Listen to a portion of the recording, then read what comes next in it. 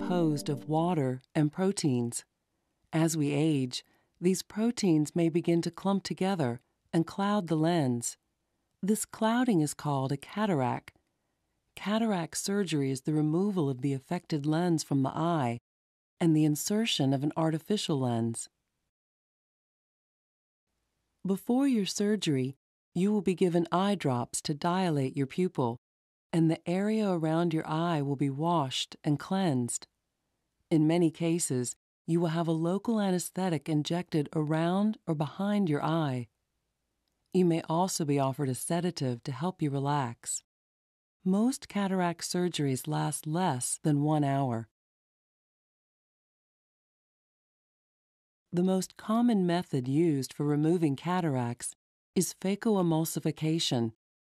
In this procedure, the surgeon looks through an operating microscope and makes three small incisions, less than one inch long, in or near the cornea. An opening is made through the capsule of the lens, and an ultrasound probe is used to break the cloudy lens into tiny fragments. These fragments are vacuumed out through the incisions. Then, an artificial intraocular lens is inserted. Intraocular lenses, made of plastic, silicone, or acrylic compounds, have no moving parts and last for the remainder of a person's life. Because the incisions are so small, stitches are generally not necessary Vision often improves, notably, immediately after surgery. Another method for removing cataracts is called the extracapsular technique. In this procedure, the incision made near the cornea is large enough to remove the cataract in one piece. Again, an artificial lens is inserted to replace the natural lens. Recovery from this type of cataract surgery is usually slower. Because the incision is larger, this procedure does require stitches.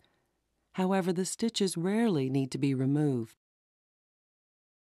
After the operation, a patch will usually be placed over your eye, and you will be observed for a short time to be sure there are no problems, such as bleeding. Cataract surgery is performed on an outpatient basis, and most patients go home the same day. Since exposure to bright light may initially be uncomfortable, you should not plan on driving immediately following the procedure. You will need to make arrangements beforehand for someone to take you home.